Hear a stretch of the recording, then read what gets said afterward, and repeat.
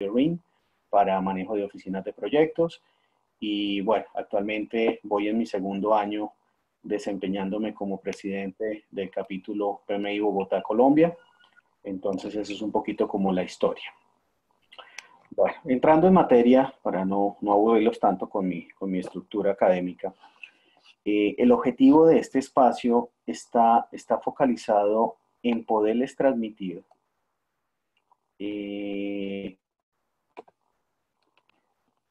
la conciencia que se debe generar frente a la gestión de beneficios cuando estamos enfrente de un portafolio de proyectos.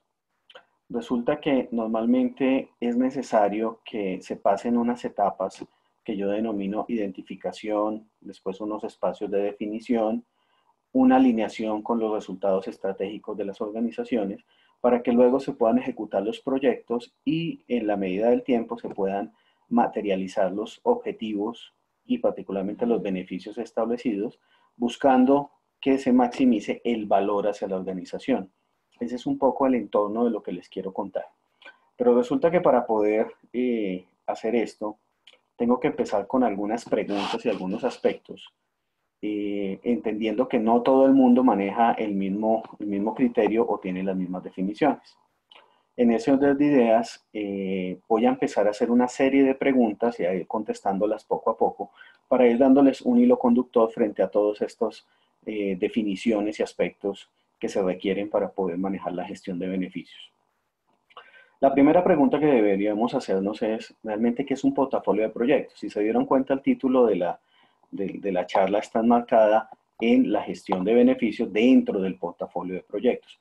Pero resulta que hoy por hoy no todo el mundo tiene la conciencia frente a lo que es la gestión de beneficios y mucho menos un portafolio.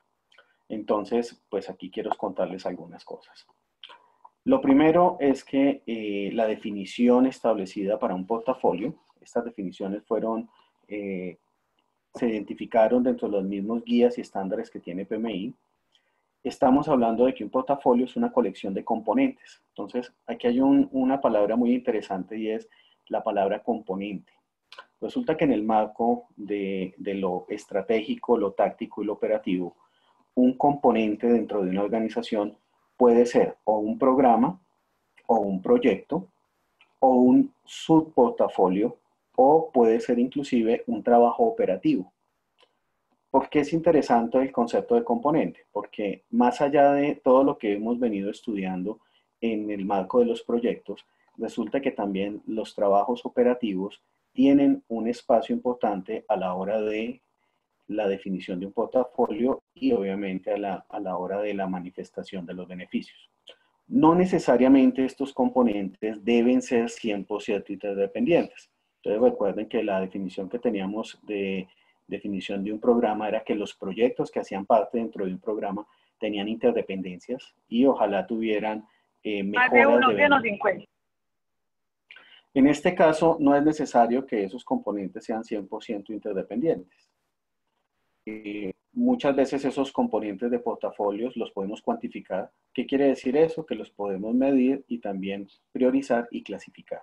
Por eso es que cuando uno entra en el concepto de portafolio organizacional puede tener subportafolios. Aquí les quiero traer un ejemplo de lo que podría ser un portafolio. Tenemos el gran portafolio organizacional que puede estar conformado por un subportafolio, por proyectos, por programas. A su vez, ese subportafolio puede tener programas y proyectos y esos programas, proyectos a la vez. Y la parte de programas puede inclusive tener subprogramas, proyectos e inclusive actividades operativas.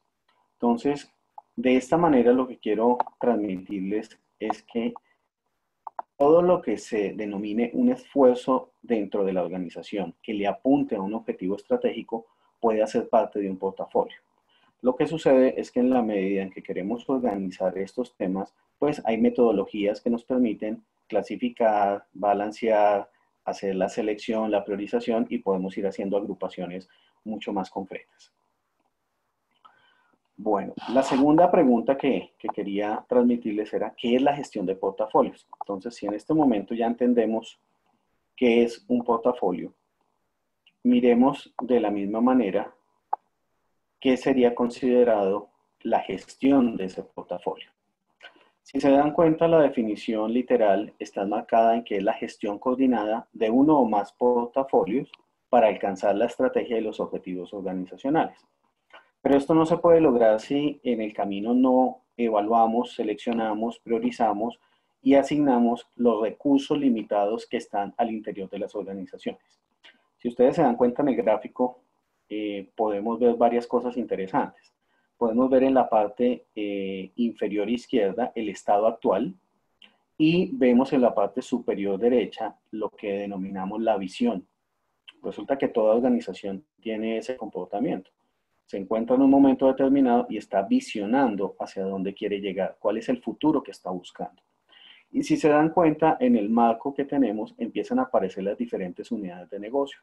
Resulta que todas esas áreas de negocio, que en este caso hablamos de área de negocio 1, 2, 3, 4, 5, cada una de esas áreas de negocio puede tener oportunidades de mejora, puede tener oportunidades eh, de, cara al cumplimiento regulatorio, a demandas de proyectos eh, por clientes externos que nos están pidiendo nuevos servicios, nuevos eh, productos, y todo eso hay que marcarlo en el tiempo. Entonces aquí el gráfico nos muestra un, mapa de ruta establecido en dos años, donde tenemos proyectos que se van a desarrollar en la primera mitad del primer semestre, proyectos en el segundo semestre y proyectos en el segundo año. Normalmente las planeaciones estratégicas eh, hace unos años atrás se hacían cada cinco años. Hoy en día, con todo este tema de la transformación digital, las transformaciones, el cambio, el agilismo, los portafolios empezaron a tener una dinámica de tiempo de no más de dos años. Inclusive cada año las organizaciones deben estar reevaluando hacia dónde están moviendo sus recursos y cuáles son los beneficios que están esperando. Esto pues pone eh, un reto muy importante para toda la gestión de portafolios, programas y proyectos, dado que tenemos que mantener una alineación estratégica en todo momento. Esto se vuelve una habilidad muy importante que debe tener el gerente de proyecto, el gerente de programa y el gerente de portafolio. Bueno, entendiendo los dos aspectos anteriores, donde ya conocemos lo que sería un portafolio y lo que en este momento sería la gestión del portafolio, quería simplemente eh, asentar la definición para que quede muy claro el concepto. Si miramos el concepto de portafolio, lo vamos a ver como un conjunto de componentes. Acuérdense siempre de la palabra componentes, que tienen aspectos específicos, o sea, que están agrupados por elementos comunes, por objetivos similares, pero no necesariamente son interdependientes. Tenemos un par de ejemplos. Podemos tener un portafolio de inversiones, entonces una organización que quiera eh, movilizar diferentes activos, que esté haciendo ampliación de infraestructuras, que esté haciendo de pronto compra de nuevas capacidades, que esté vendiendo parte de sus servicios y sus capacidades.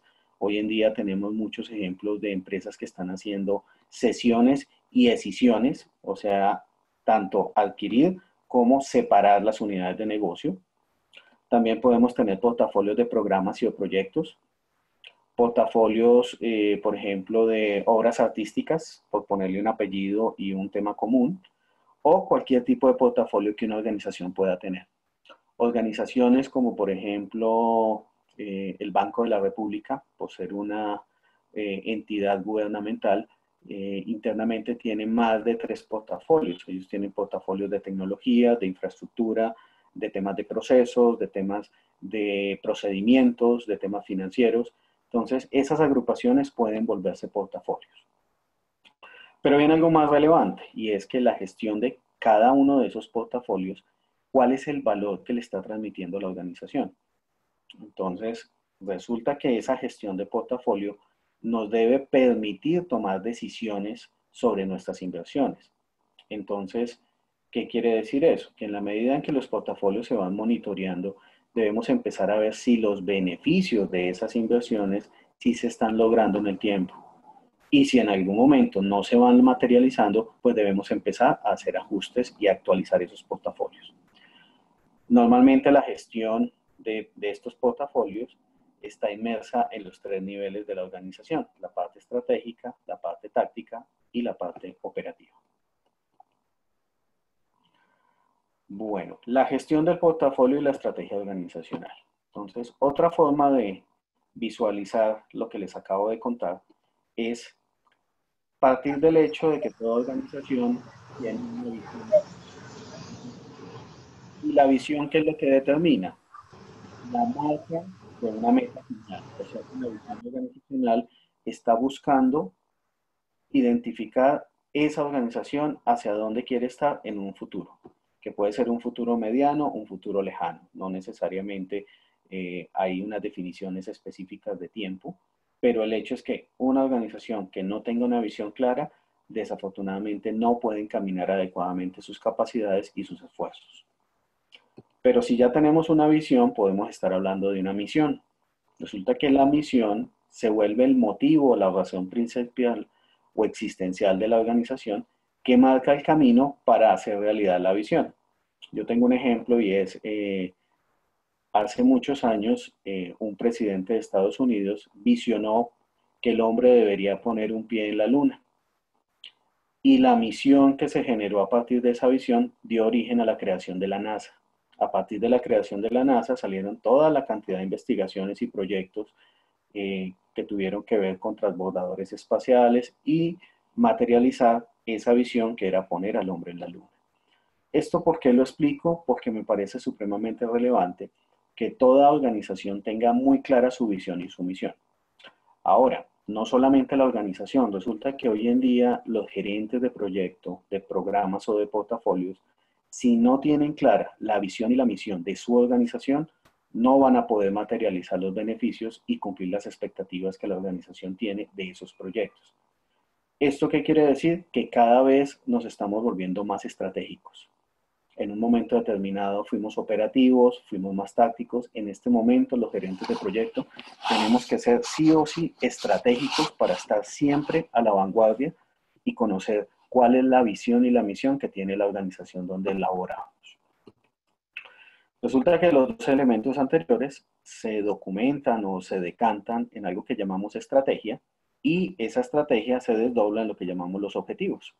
En algunas organizaciones le llaman los megas, eh, le ponen eh, objetivos estratégicos, le ponen apellido y nombre particular, pero realmente todo tiene que estar directamente conectado.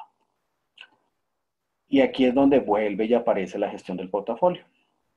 Resulta que la gestión del portafolio en este nivel lo que hace es que manifiesta la alineación estratégica con esos pasos anteriores y lo desdobla en algo que llamamos portafolios, programas, proyectos y trabajos operativos.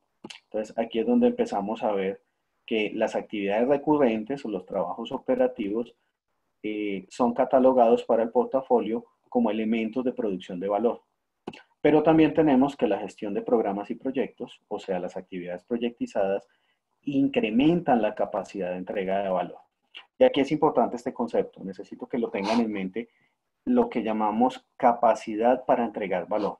Más adelante les voy a tocar otra vez el concepto y les voy a dar unas estadísticas de cómo las organizaciones que han incrementado su capacidad de generación de valor están teniendo mejores resultados y están teniendo mejores beneficios. Bueno, pero todo lo anterior que acabamos de ver en esta pirámide tiene algo en común y es que comparte recursos organizacionales. ¿Qué quiere decir esto? Que nosotros no podemos hacer todos los proyectos que queremos en simultáneo porque los recursos son finitos. Entonces empezamos a tener complicaciones de capacidad. Por esto puedo concluir lo siguiente que la gestión del portafolio se convierte en el guardián de la estrategia y de los objetivos organizacionales. ¿Y qué hace ese guardián? Por un lado, debe mantener total conexión con la estrategia. ¿Qué quiere decir eso? Que todas las actividades recurrentes o proyectizadas que se encaminen en la organización deben estar siempre articuladas con la estrategia. Segundo, que esté apuntando y que aporte algún objetivo organizacional no solamente la alineación estratégica de nombre. Resulta que uno puede encontrarse proyectos que en su momento de justificación eh, determinan que tienen alineación con el objetivo específico X. Pero una cosa es que esté alineado y otra cosa que realmente le contribuya. Hoy en día las organizaciones están deseosas de saber cuando un proyecto se adelanta o se atrasa, cuál es el impacto que está teniendo en su estrategia y en sus objetivos. Y este realmente es la conexión de cómo los vehículos que se vuelven los proyectos permiten manifestar esa estrategia. Y lo otro que tienen que cuidar los portafolios también es el compartir esos recursos. Resulta que los recursos organizacionales empiezan a compartirse en gran medida la operación, tiene una prioridad y cuando arrancan los proyectos le piden esas capacidades de recursos a la operación. Normalmente cuando hay un problema operativo, siempre los recursos apuntan a solucionar lo operativo y en gran medida los proyectos se impactan. Entonces hay que mantener ese balance. ¿Esto cómo se puede manifestar? Resulta que en las organizaciones se debe hacer algo que se llama la medición de las capacidades de transformación. Hoy por hoy toda organización debería tener supremamente claro qué capacidad de transformación tiene. ¿Qué quiere decir esto? Si hoy quiero avanzar con dos, con tres, con cuatro proyectos de cierta naturaleza, ¿será que mi organización sí tiene la capacidad de mantener la operativa y adicionalmente responder a estos proyectos? Eh, les pongo una situación o un escenario. Imagínense que estamos todos eh, reunidos en un, en un cuarto. Estamos hablando de 175 participantes en este momento. Y en algún momento alguien determina y da la orden de que salgamos todos por la puerta. Con mucha dificultad vamos a lograr salir todos, ¿cierto? Por la cantidad de personas. Pero adicionalmente a eso nos vamos a lastimar, nos vamos a golpear, seguramente vamos a dañar la puerta. Entonces, eso mismo le está pasando a las organizaciones. Cada vez se imponen mayores retos, pero no identifican si sus capacidades de transformación son lo suficientemente amplias para mantener la operación y también sus proyectos. Entonces, el portafolio debe cuidar esos aspectos también. Bueno, otra pregunta que traigo a continuación es, ¿qué es valor? Entonces, si se dan cuenta, en el slide anterior hablábamos del valor de generación de valor. Y eso se habla mucho hoy en día. Hoy en día las personas determinan, es que usted no me da valor, el valor que yo esperaba. Entonces, hay que definir el valor en el entorno de portafolio y de beneficios de una manera muy especial. Resulta que está definido como el resultado neto de los beneficios que se realizan menos el costo de lograr esos beneficios. Si se dan cuenta, de alguna manera intrínsecamente traemos la ecuación de el ROI, el famoso ROI, que mide cuánto realmente es el retorno de la inversión que yo estoy haciendo. Una cosa es el beneficio que me trae y otra cosa es lo que me cuesta lograr el beneficio. Normalmente ese valor puede ser tangible o intangible. Esta definición la tomé del estándar para la gestión de realización de beneficios. Este estándar fue liberado por el PMI a título gratuito a principio de este año. El que no lo tenga y no lo haya conseguido todavía puede entrar a, la página del PMI y descargarlo o nos avisa y con todo gusto se lo podemos hacer, hacer llegar. Bueno, pero miremos qué es tangible o intangible. Entonces, resulta que también el valor de negocio tiene un concepto y es la suma total de todos los elementos tangibles e intangibles. Entonces, un negocio tiene un valor asociado como organización o como negocio cuando podemos sumar los dos aspectos, lo tangible y lo intangible. Si miramos lo tangible, estamos hablando de activos monetarios, entonces, por ejemplo, infraestructuras, eh, contar, por ejemplo, con vehículos, con ciertas eh, estructuras específicas que han generado diferentes tipos de valoración. Podemos tener activos fijos, entonces, en activos fijos podemos tener también edificios, podemos tener em, cualquier aspecto que en algún momento determinado eh, se pueda cuantificar. También hablamos del patrimonio de los accionistas. Entonces, hoy por hoy los que tienen eh, organizaciones, empresas donde están negociando acciones en el mercado bursátil, la acción cada vez se va valorizando o desvalorizando dependiendo la dinámica del negocio. Eso se vuelve un valor tangible y obviamente las utilidades que recibimos a final de año cuando se hace pues el cierre operativo a 31 de diciembre y en ese momento los estados financieros pues manifiestan si hubo utilidades o no para repartir. Eso dentro de los ejemplos que podemos tener como valores tangibles. Pero también los negocios tienen un valor intangible y a veces ese intangible tiene un poder muy importante. Entonces, lo que llamamos el famoso goodwill. Entonces, ¿qué es el goodwill como tal? Es eh, el relacionamiento, la posición de, la organización en un segmento específico, la experiencia, todo el conocimiento que ha adquirido durante los años, todo eso le va dando lo que llaman el goodwill, que es un valor intangible. Adicionalmente a eso tenemos el reconocimiento de marca. Entonces hoy en día, si uno saca eh, y nombra marcas como Adidas eh, y cualquier otro tipo de marcas eh, de diferentes industrias, hay marcas que están muy posicionadas, inclusive todos los años se vive sacando el top de las principales, las 500 marcas más reconocidas y de mayor valor en el mundo. Entonces, todo eso hace parte de un beneficio o de un valor intangible. Tenemos también el beneficio público, marcas comerciales. Eh, cuando hablamos de beneficio público estamos hablando, por ejemplo, de esos eh, marcos tributarios que nos dan algún tipo de beneficio frente al pago de impuestos, Digamos que todos esos elementos en algún momento se pueden cuantificar, pero no son tan eh, marcados en dinero o monetariamente. Sigue siendo un intangible. Hoy en día una compañía tiene valor porque por los tangibles y los intangibles. Bueno. Wilber, tenemos una pregunta. ¿Quieres que te la plantee ahora o la dejamos para el final? No, me parece que de una vez la podríamos, la podríamos solucionar para no perder el hilo, el hilo conductor. Ok. Eh, Fernando Remolina dice, ¿cómo se planean los recursos de un portafolio? Ok, buena pregunta, Fernando. Pues mira, los recursos dentro de un portafolio realmente se planean a partir de la sumatoria de los recursos individuales que van requiriendo los programas y los proyectos.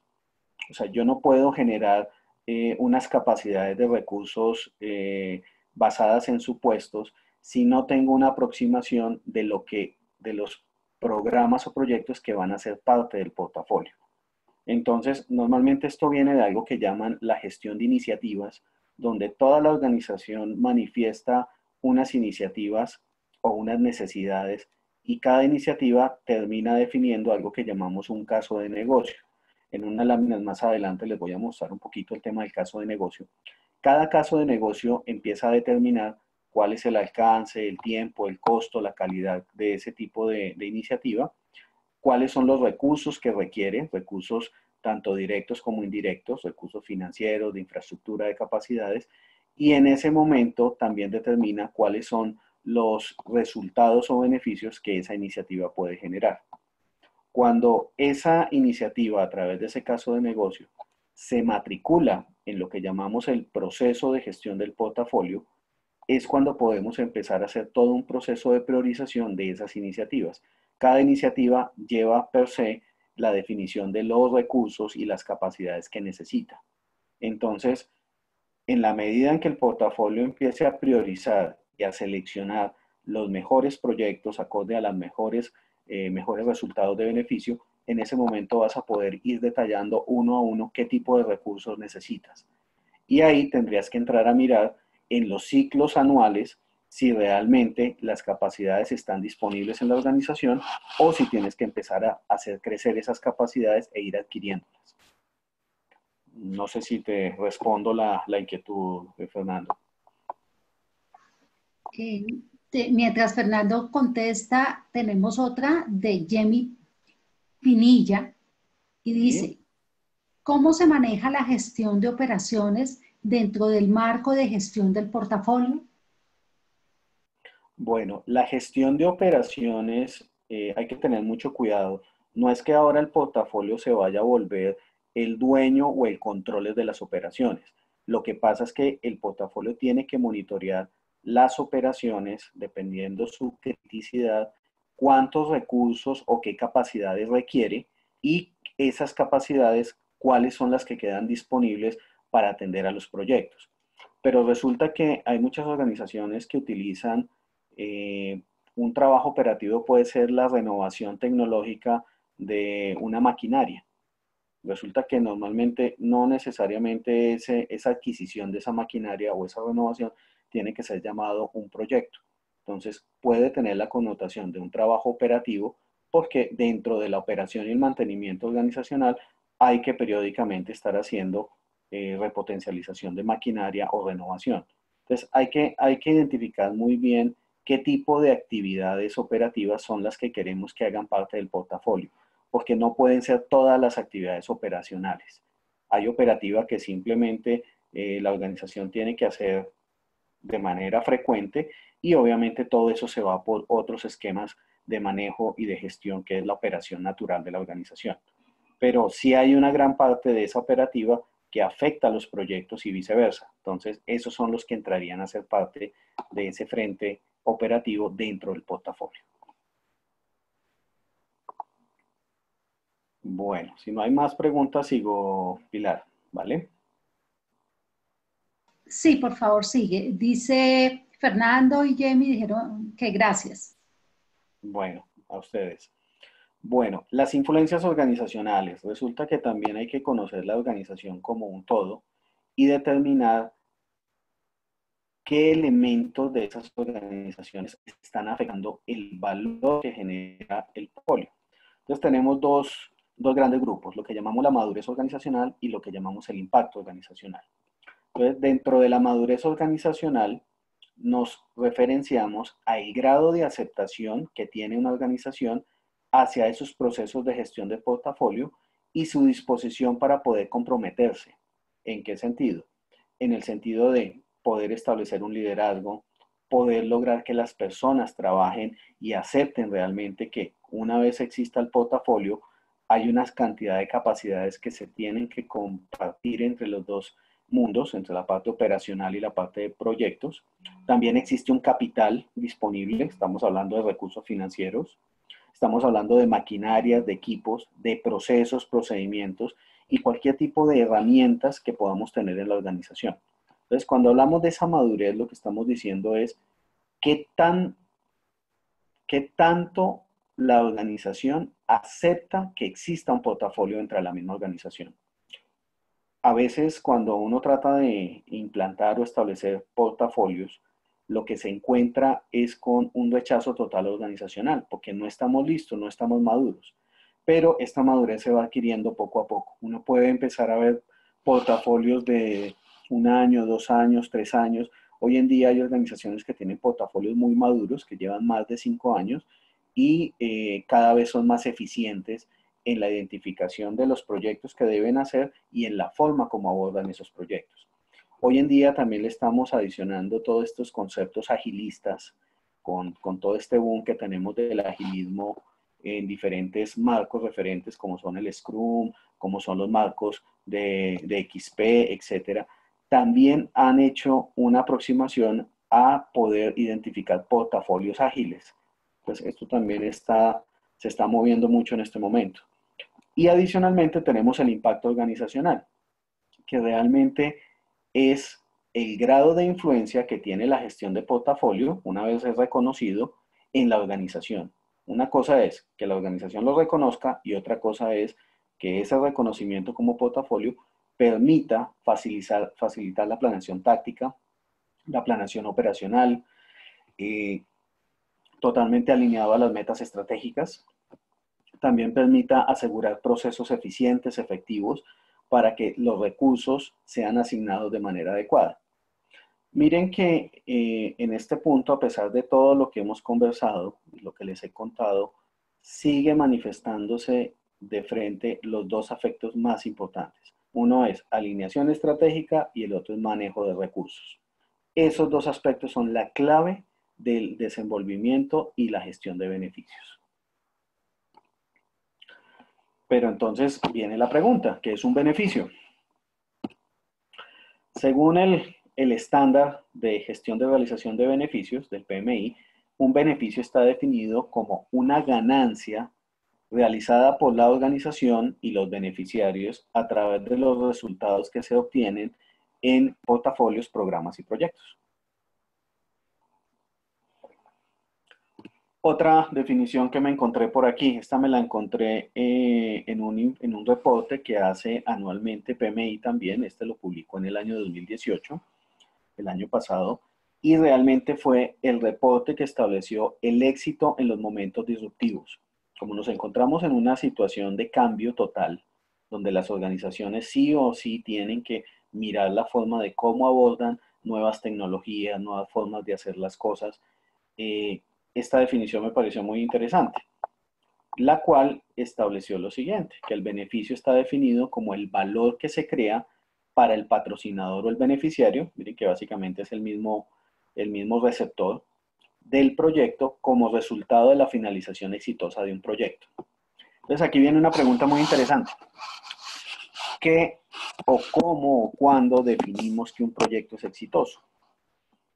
Resulta que dentro del marco del PMI, cuando uno habla de éxito de un proyecto, para los gerentes de proyectos, la definición está establecida en que el proyecto culmine con el alcance definido, con el tiempo establecido, con el presupuesto que fue asignado y con la calidad que fue solicitada.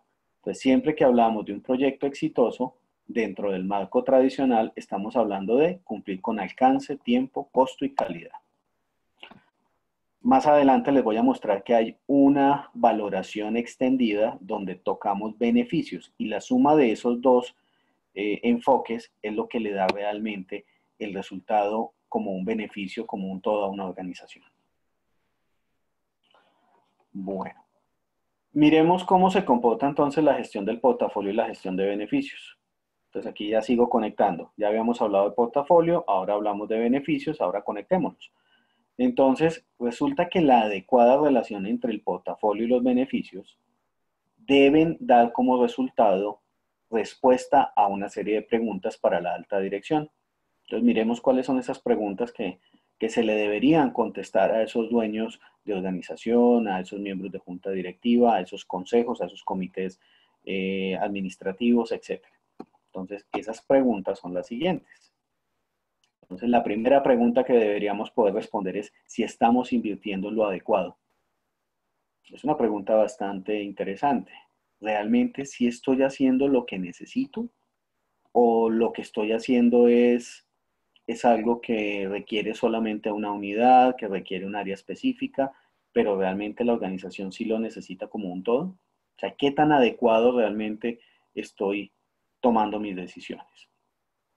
Lo segundo que podríamos pensar, si partimos del supuesto de que estoy invirtiendo en lo adecuado, es la pregunta de si estamos alcanzando los beneficios. Entonces, partamos del hecho de que efectivamente estoy invirtiendo en lo adecuado. Ahora la pregunta sería, si estoy logrando lo que estoy esperando o lo que planteé recibir como un beneficio. Esperemos que sí. Y ahí vendría la tercera pregunta. ¿Estamos optimizando la capacidad? Porque en la medida en que yo pueda optimizar la capacidad, puedo obtener mejores beneficios. Entonces, si ven que las, preguntas van, van secuenciales. Si sigo suponiendo que invierto en lo adecuado, que estoy logrando los beneficios, que estoy optimizando la capacidad, podría preguntarme qué también estoy ejecutando. Esta es una pregunta que se le hace a los programas y a los proyectos. Entonces, cuando hablamos de qué también, lo que estoy diciendo es, ¿estoy cumpliendo los objetivos? ¿Realmente sí estoy llegando a donde necesito llegar? Y por último, vendría lo que les hablaba de la capacidad, es podemos realizar los cambios. ¿Qué quiere decir eso? Puedo salir por esa puerta con cuatro o con cinco proyectos en simultáneo y la capacidad organizacional sí me lo permite o definitivamente tengo restricciones. Entonces, miren que los, las cinco preguntas son preguntas muy estratégicas que entre sí nos permiten realmente tener claridad si estamos o no conscientes de las capacidades y de si realmente hacia donde estamos apuntando nos está dando el valor que estamos esperando. Bueno, quise traerles también un poquito de información eh, más de, estudios de, algunos hallazgos. Resulta que el año pasado también PMI, eh, en este estudio que tenemos acá presente, que lo llamó pues el éxito en tiempos de disrupción, eh, tuvo unos hallazgos interesantes que me pareció me pareció importante traerles. Entonces, dentro de esos hallazgos que encontré, que menos de uno de cada diez organizaciones informa dentro de esa eh, encuesta que hicieron, informó que tiene un nivel de madurez muy alto en cuanto a capacidades de entrega de valor. ¿Se acuerdan que les hablaba anteriormente que por favor estuvieran pendientes de esa capacidad de entrega de valor? Pues aquí se manifiesta. ¿Qué quiere decir eso? Que una de cada diez organizaciones es considerada o se considera madura para entregar valor. O sea que todo lo que hablamos en, en los slides anteriores tiene que caer sí o sí en la capacidad de entrega de valor. Si yo me conozco, si yo escojo adecuadamente, si yo tomo buenas decisiones, si yo conecto adecuadamente los diferentes niveles y capacidades, yo podría estar madurando la capacidad de entrega de valor. Pero adicionalmente también encontré que solo el 31% de las organizaciones están priorizando el desarrollo de una capacidad integral de entrega de valor. Entonces, miren lo crítico de estos hallazgos. Si uno de cada 10 organizaciones informa que tiene un nivel de madurez alto para generar valor y solamente el 31 de esa organización prioriza desarrollos de capacidad integral de entrega de valor, pues definitivamente las organizaciones en este momento eh, necesitan conocerse y necesitan apuntar estrategias para generar valor. No lo están haciendo y pues ese es el resultado de este tipo de, de encuestas. Pero también quiero resaltar por qué sería importante desarrollar esa capacidad. Entonces, el tercer bullet lo que dice es que esas organizaciones que sí realmente han desarrollado altas capacidades logran mejores resultados en el rendimiento de los proyectos, ya que su objetivo se vuelve conseguir beneficios, adaptarse al cambio y lograr un mejor enfoque en el cliente. Entonces, miremos algunos de los resultados adicionales que encontramos. Entonces, miren, por ejemplo, esta gráfica o esta tabla, donde tenemos aspectos relacionados a un comparativo entre organizaciones que tienen bajo nivel de madurez y organizaciones que tienen alto nivel de madurez. Entonces, eh, miremos, por ejemplo, la primera, el porcentaje promedio de proyectos que fueron terminados a tiempo. El 64% fueron terminados a tiempo en organizaciones de alto nivel de madurez en la capacidad de entrega de valor, mientras que el 36% eh, se quedaron con proyectos terminados a tiempo en organizaciones de bajo nivel de madurez. Miremos otra. Eh, por ejemplo, el porcentaje promedio de proyectos que logró la intención de negocio o que cumplió los objetivos originales. El 78% dentro de empresas con alto nivel de madurez cumplió con esa intención de negocio, mientras que para el caso de las organizaciones de bajo nivel fue solamente el 56%. Y miremos uno último por aquí que pueda ser interesante. Eh, miremos el porcentaje promedio de proyectos que se consideran fracaso. En organizaciones de alta madurez, el 12%, en bajo nivel de madurez, el 21%. Bueno, lo curioso de estas encuestas y estos resultados estadísticos es que el PMI lleva haciendo las preguntas similares desde hace más o menos, me atrevo a decir, de los últimos 8 a 10 años y lastimosamente el comportamiento de los resultados no varía mucho. Están casi dentro de los mismos rangos de los resultados que les acabo de mostrar en este momento. ¿Qué quiere decir eso? Que la tendencia que llevamos en la última década tiene un comportamiento muy parecido a lo que estamos viendo en este momento. Y eso es preocupante, porque eso lo que quiere decir es que las organizaciones, a pesar de que están evolucionando, están descuidando el conocimiento de sus propias capacidades. Y eso es lo que los, los, está llevando a que posiblemente no estén tomando las mejores decisiones en el momento más oportuno. Entonces, esto es muy relevante para una organización, el conocer esa capacidad de entrega de valor. Bueno, el estudio también concluyó lo siguiente que me pareció muy interesante y es que las medidas tradicionales, que es lo tradicional, alcance, tiempo, costo y calidad, son esenciales. O sea, se reconoce que es esencial esas medidas, pero ya no son su suficientes en el entorno competitivo que actualmente las organizaciones están enfrentando. ¿Eso qué quiere decir? Que la capacidad de los proyectos deben entregar los beneficios que el negocio está esperando y eso es lo que la organización necesita. Entonces, aquí se nos empieza a generar una oportunidad y es que los gerentes de proyecto del futuro tienen que evolucionar frente a la necesidad de conocer su negocio, de saber exactamente el negocio en qué consiste. Entonces les pongo un ejemplo. Si me contratan para la implementación de un sistema, no sé, la implementación tecnológica de SAP para mejorar todo mi sistema financiero en una organización de X sector. Pero si yo no conozco cuál es la necesidad de negocio y qué es lo que mi negocio como tal está esperando de ese proyecto, pues muy seguramente jamás voy a llegar a cumplir con los beneficios que está esperando la organización. Entonces, nos está invitando esto a que tengamos que volvernos mucho más estratégicos. Por eso esta charla está marcada en el, en el lado del triángulo del talento de la estrategia. Si realmente no nos focalizamos adecuadamente hacia los beneficios, muy difícilmente vamos a continuar una buena gestión de gestión de proyectos. Bueno. tenemos algunas preguntas. Señora. Sandra Amaya nos dice, pero esa gestión de portafolio lo puedo desarrollar dependiendo de cada programa y proyecto que tengo dentro de la organización. Eh, Sandra, es es al contrario. El resultado de la gestión del portafolio te determina los programas y proyectos que quedan por dentro. Y una vez ese portafolio es eh, autorizado para desarrollar esos programas y proyectos, debe ese portafolio cuidar el valor de que el beneficio prometido se cumpla. Entonces, no es que hagamos una gestión a partir de agrupaciones, sino es todo lo contrario. Arrancamos de una priorización de portafolio que me da como resultado sus portafolios, programas, proyectos. ¿sí? Ese, es un poco el análisis, es, al contrario, no es tanto que la gestión vaya de abajo hacia arriba, sino es el portafolio quien determina qué debería ir dentro de sí mismo a partir de la priorización que se hace. Tenemos otra pregunta de John Mantilla. ¿Qué hacer cuando alguna o varias de esas preguntas estratégicas son negativas? Wow, buena, buena pregunta. Si tenemos preguntas negativas,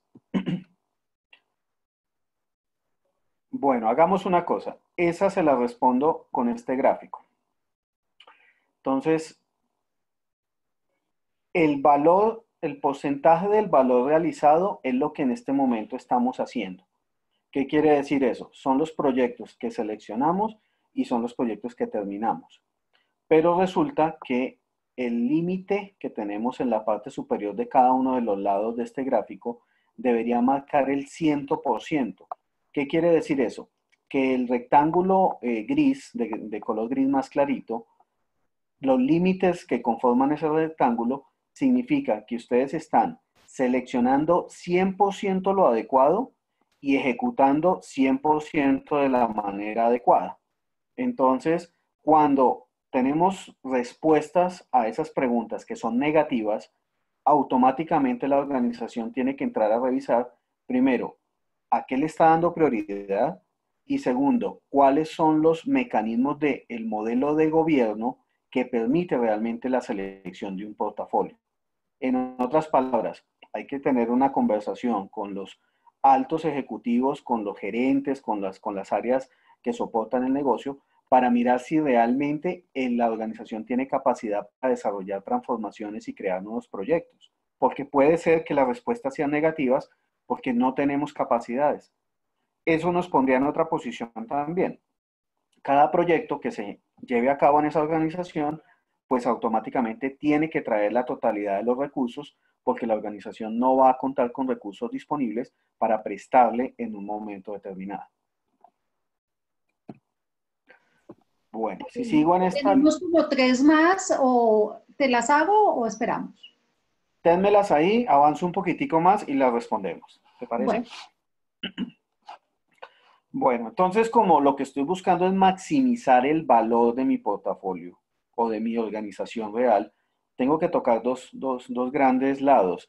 El vertical, que hablamos de la gestión de portafolio, y miren lo que dice la lámina, ¿no? Trabajar los proyectos correctos Ahora, la identificación y selección adecuada no necesariamente eh, discrimina proyectos porque no sean correctos, sino que a veces no solamente es que sean correctos, sino que estén en el momento adecuado.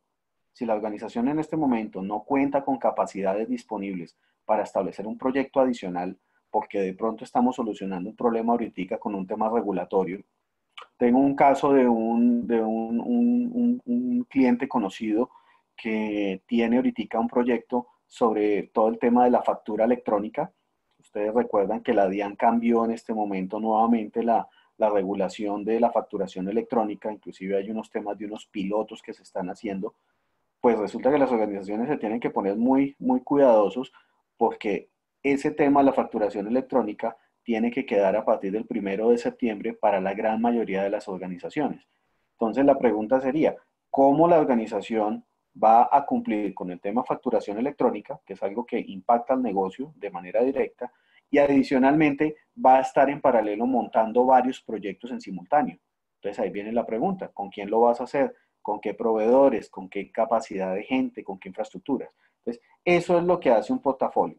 Se pregunta eh, muchos escenarios para determinar si realmente somos capaces de hacer esas transformaciones. Pero ahí no viene todo, sino que también viene el otro problema. Supongamos que seleccionamos un portafolio relativamente adecuado a las necesidades y al momento. La pregunta es, ¿cuántos proyectos realmente están cumpliendo en alcance, en tiempo, en costo, etcétera? Entonces, miren que las encuestas que les mostraba aquí establece, por ejemplo, vámonos con las organizaciones de bajo nivel de madurez. Miren, el 36% terminan a tiempo el 43% dentro del presupuesto. El 56% cumple los objetivos. El 63% presenta lo que llamamos corrupción del alcance. Recuerdan que corrupción del alcance estaba definido como el famoso gold plating, si se acuerdan? El baño de oro, que lo que establecía es dar, dar valor adicional o cosas adicionales no pedidas al comienzo y obviamente sin pasar por el proceso del control integrado de cambios, que como resultado debería darme más tiempo, más recursos, más capacidades, más presupuesto. Entonces, miren que el porcentaje de corrupción del alcance en organizaciones que no tienen un conocimiento y una madurez importante va al, orden del 63%.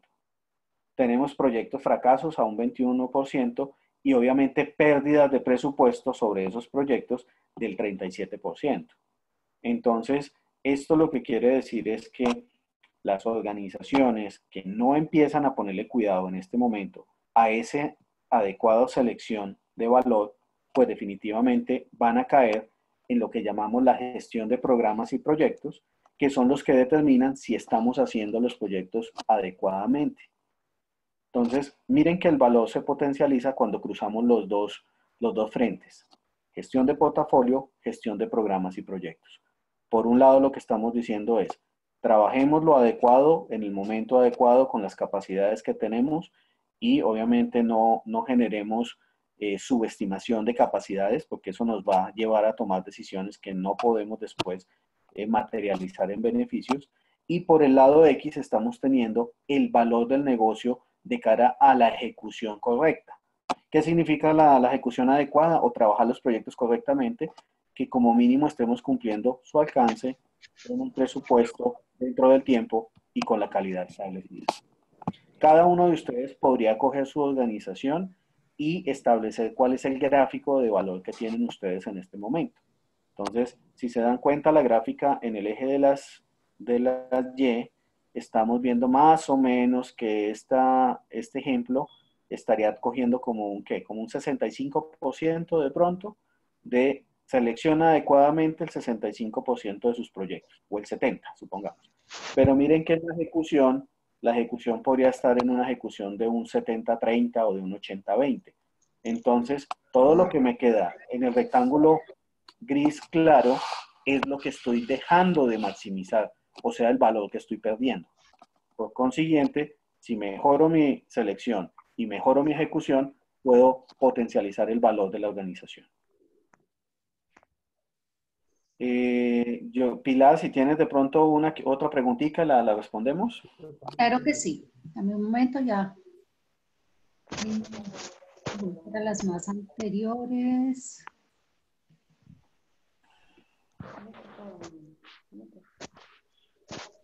No, ese pedido porque los datos se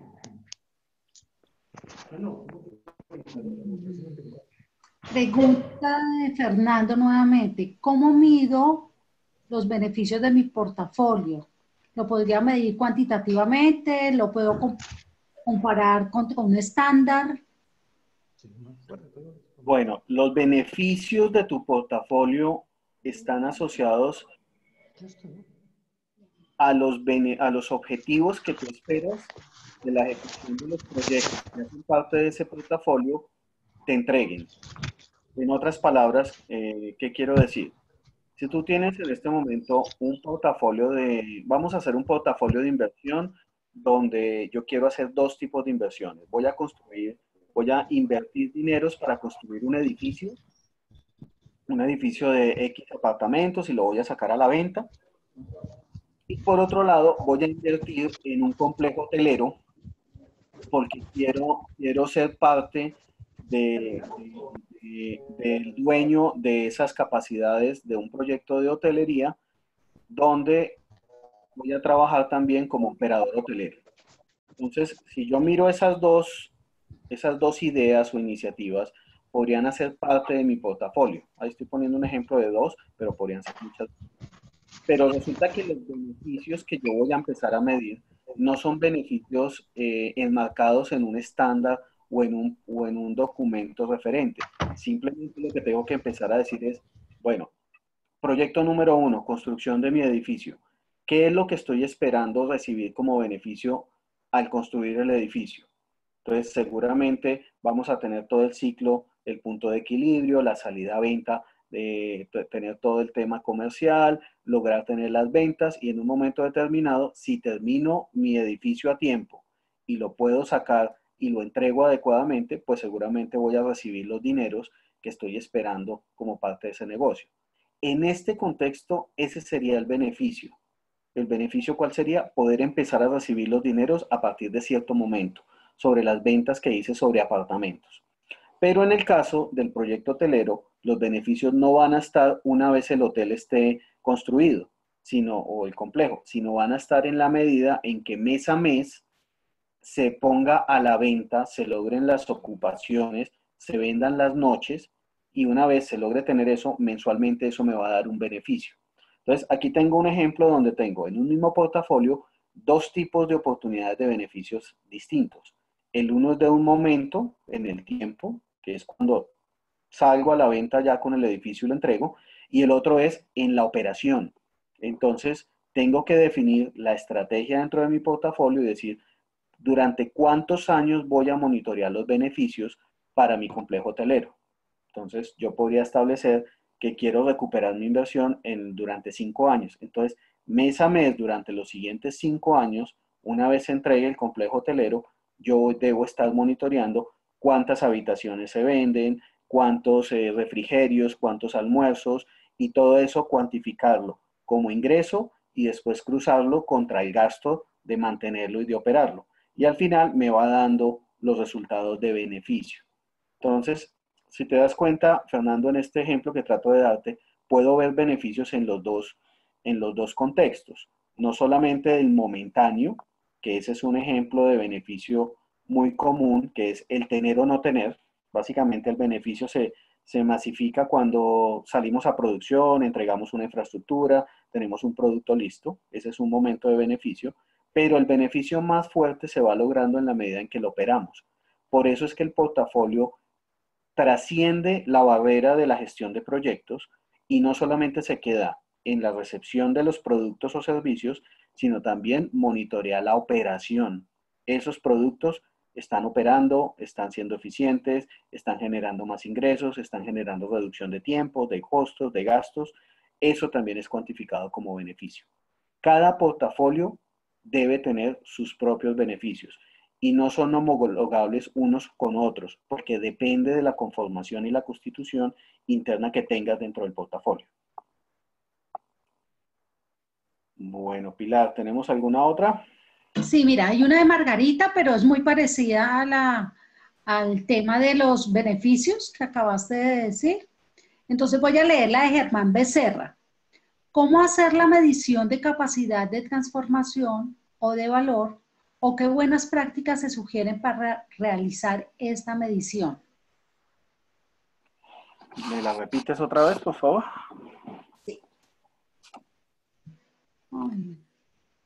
¿Cómo hacer la medición de capacidad de transformación o de valor o qué buenas prácticas se sugieren para realizar esta medición? Ok. Bueno, existen, existen eh, consultoras o consultores independientes que lo que hacen es eh, correr unos cuestionarios o unas entrevistas y tratar de identificar aspectos relevantes a esas capacidades en diferentes aspectos. Entonces, por ejemplo, se puede medir cuál es la capacidad de crecimiento a nivel de infraestructura, cuál es la capacidad que tenemos de personas eh, con conocimiento específico de negocio, ¿qué quiere decir eso? Que si yo mañana arranco dos proyectos, yo puedo sacar las personas del área operativa y del negocio para que me atiendan. Eh, si las puedo sacar, en qué porcentajes lo puedo sacar. Eh, puedo medir, por ejemplo, qué capacidad de crecimiento a nivel de infraestructura tecnológica tengo. ¿Qué quiere decir eso? Eh, si yo necesito unas infraestructuras para hacer unas pruebas en un desarrollo de software, puedo contar con esos servidores, con esa capacidad de procesamiento y almacenamiento. Eh, ¿Qué capacidades financieras tengo? ¿Qué quiere decir eso? La organización tiene dinero disponible en caso de que hoy necesite contratar a 50 personas para hacer un proyecto durante ocho meses. Entonces, cada uno de esos ejemplos que te doy determina capacidades que debe conocer la organización si las tiene o no las tiene. Y para eso existen eh, digamos que existen consultorías externas que muchas veces te dan aproximaciones propias. Eh, exactamente no conozco un referente sobre la medición de capacity como tal, pero eh, la experiencia sobre gestión de proyectos nos puede facilitar la decisión de qué capacidades queremos medir. Capacidades como, por ejemplo, proveedores. Tenemos capacidad para, para contar con proveedores o fábricas de software o o terceros que nos ayuden a desarrollar ciertos proyectos, eso lo podríamos establecer como medición de capacidad.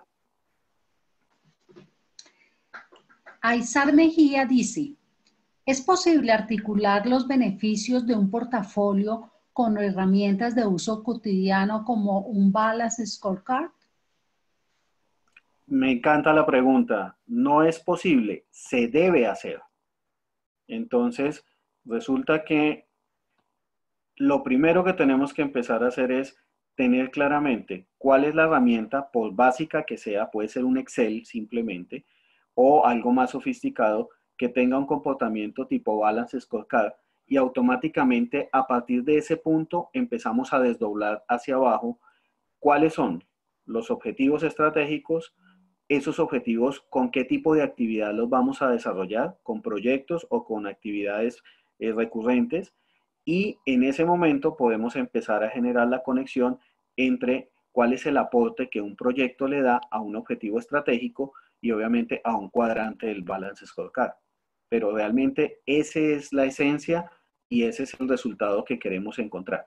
Eh, en un par de slides adelante les voy a mostrar un ejemplito en un dibujito de cómo se debería ver ese tema conectado a los objetivos estratégicos desde, desde la, la manifestación de portafolios de proyectos. Bueno, avanzo un poquito, Pilar. Ok.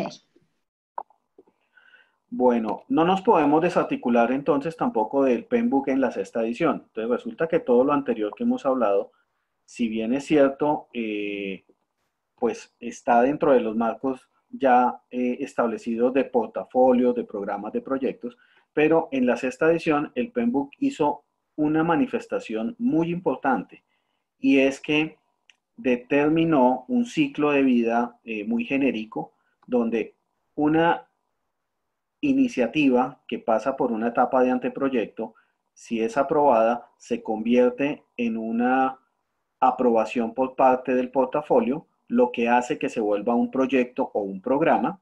Y en ese momento entramos en el, en, las tres fases que tenemos aquí de color azul más fuerte, que es las etapas de iniciación, de organización y preparación, que es lo que hablamos de la planeación, después se hace la ejecución y por último se hacen las etapas de cierre o de entrega.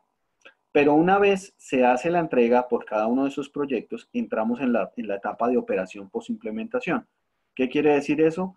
Que para la gestión de proyectos ya no es suficiente el solo identificar un proyecto, sino hay que tener en cuenta de dónde vino ese proyecto, que es lo que llamamos anteproyecto, y en dónde termina, que es lo que llamamos gestión de beneficios.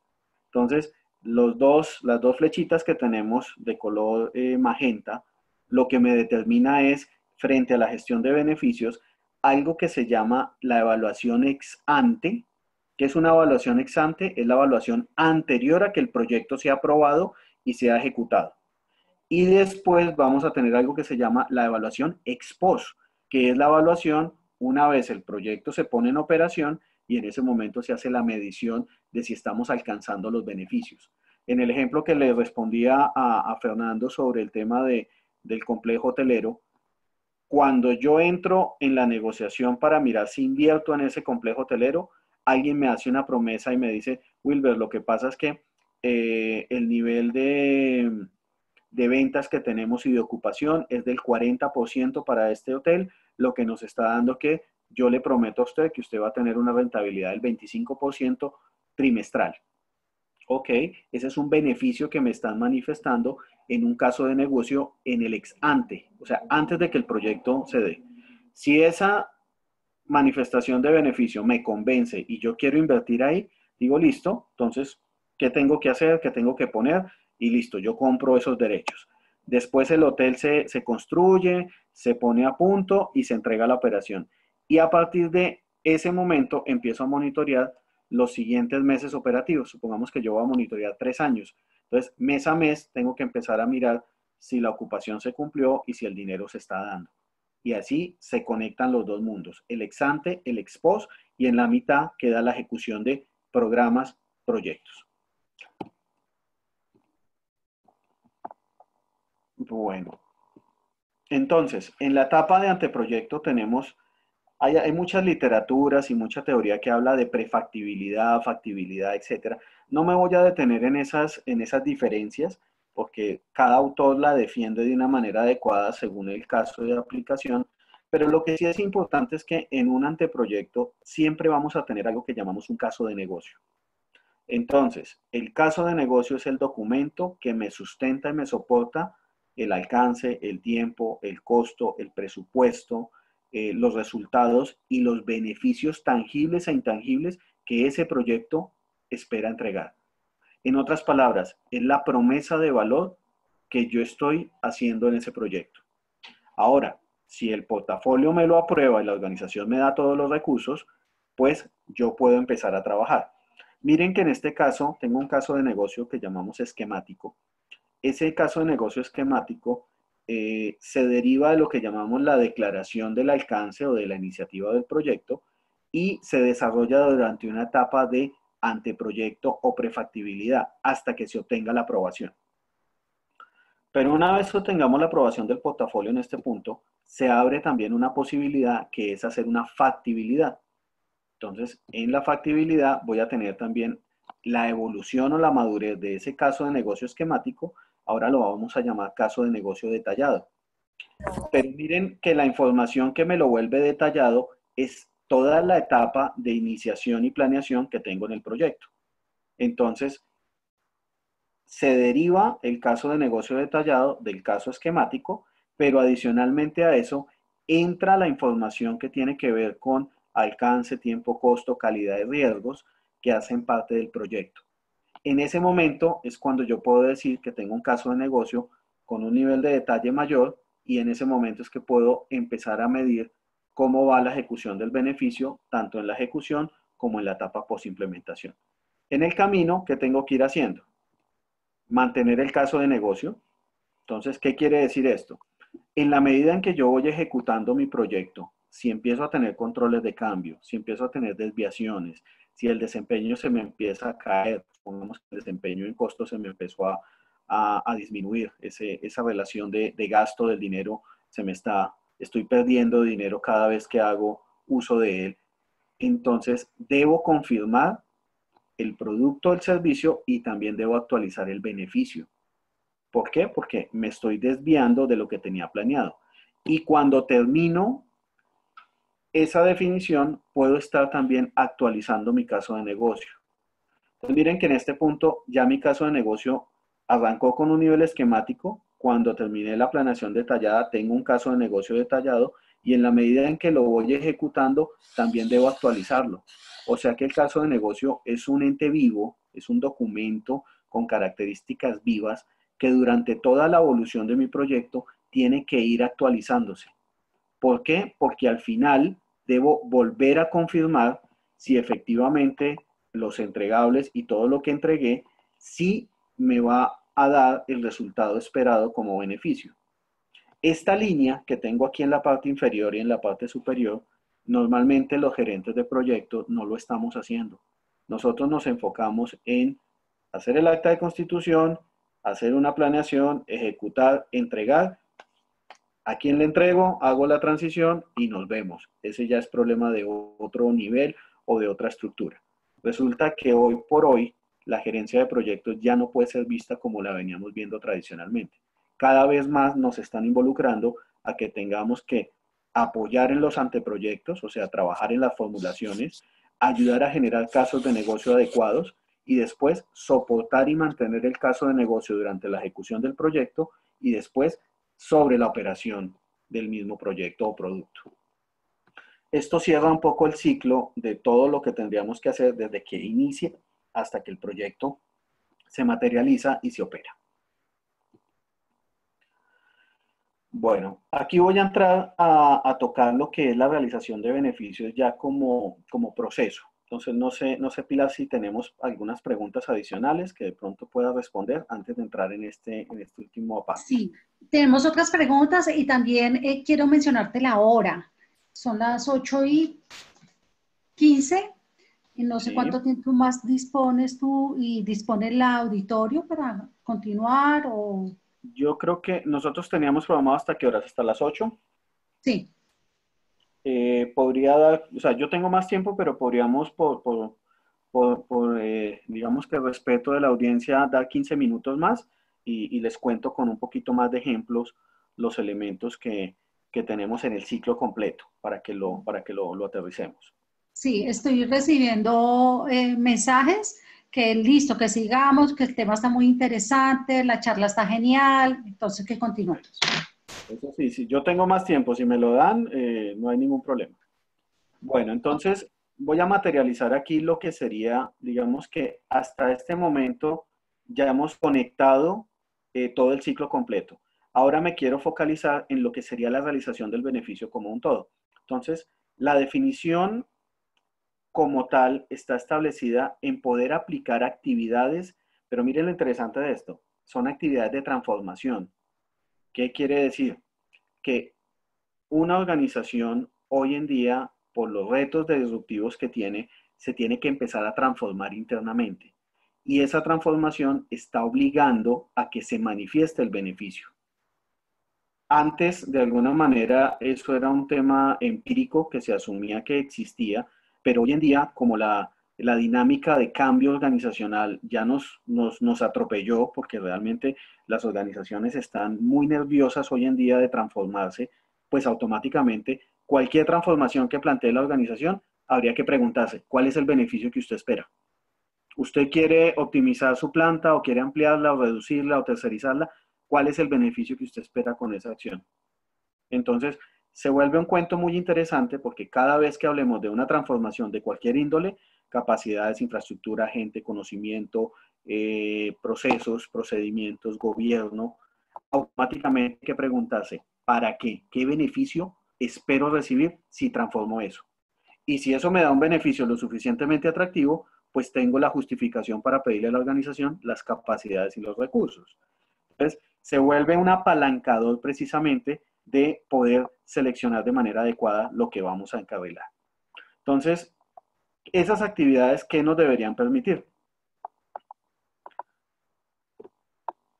Identificar y planificar la realización de beneficios. Entonces, el ciclo de gestión de beneficios se identifica y se planifica. De igual manera, se debe establecer qué procedimientos de gobierno se requieren para que eso se pueda dar. ¿Por qué es importante el gobierno? Porque resulta que el gobierno es el que marca el comportamiento y es el que ayuda a tomar las decisiones para que una organización eh, avance o se frene en una, en una transformación. Entonces, uno de los problemas más grandes que uno encuentra en las organizaciones es que a veces el nivel de, gobierno eh, es demasiado débil o es un gobierno muy jerárquico o es un gobierno que depende siempre de una persona o las decisiones siempre tienen que pasar por un comité y el comité sesiona una vez al mes. Entonces, todos estos elementos eh, pues realmente tienen que tocarse también porque esa capacidad de valor que les estaba comentando en los, en los slides anteriores tiene que ver también con el comportamiento y la cultura. Entonces, una organización que culturalmente no toma decisiones de una manera ágil, de una manera adecuada, pues automáticamente está disminuyendo su capacidad de entrega de valor. Entonces, también debemos hablar con las altas instancias, con las capas ejecutivas y decisoras, para que mejoremos nuestros procedimientos de gobierno.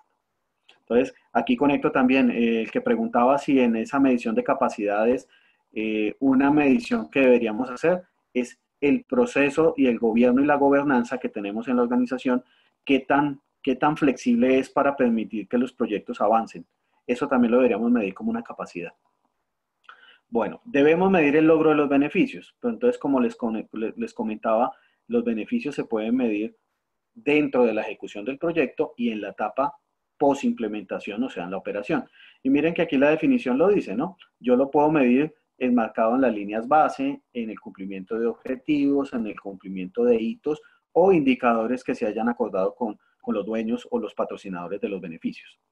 Pero el mayor beneficio, el porcentaje mayor, se va a obtener cuando se ejecute en la operación ese producto que entregamos.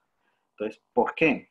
Porque en ese momento es que vamos a lograr eh, identificar y visualizar si realmente logramos eficientar, si tuvimos ahorros, si tuvimos eh, mayores ingresos, si tuvimos mayor cobertura, si logramos más ventas. Entonces, hoy en día, por ejemplo, eh, tenemos proyectos en este tema de la transformación digital, los famosos robots, los, proyectos de RPA, que lo que hacen es que a través de unos robots, a través de unos, unas configuraciones, uno logra que procesos manuales lo puedan hacer robots de manera automática.